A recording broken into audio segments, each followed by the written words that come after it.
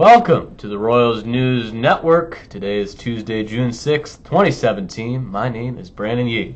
All school information. JROTC is cleaning out the school's lost and found. All lost and found items will be in the cafeteria today during all lunch hours. If you lost something, please make sure to check it out. If you've lost something small, check with the attendance office or the media center. Did you complete all embedded health requirements for the year, including the trimester 3 test? Which is less than 15? If not, log on immediately and complete the test. If you have questions, see Mr. Diamond, Mr. McDermott, or Mr. Smith. If you purchased a yearbook, make sure to stop in the Media Center to get it. If you didn't purchase one, there are extras for $75 each. Please see Mr. Peters.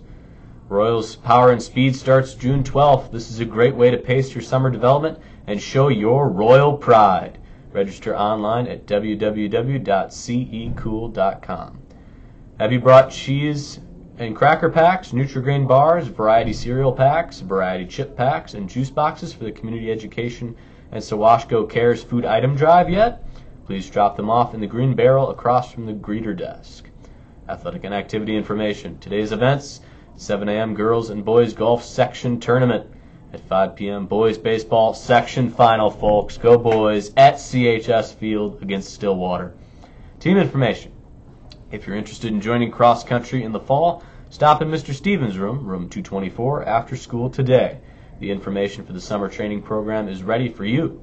If you can't make the meeting, contact Mr. Stevens for the information. Thanks for tuning in. Have a royal day.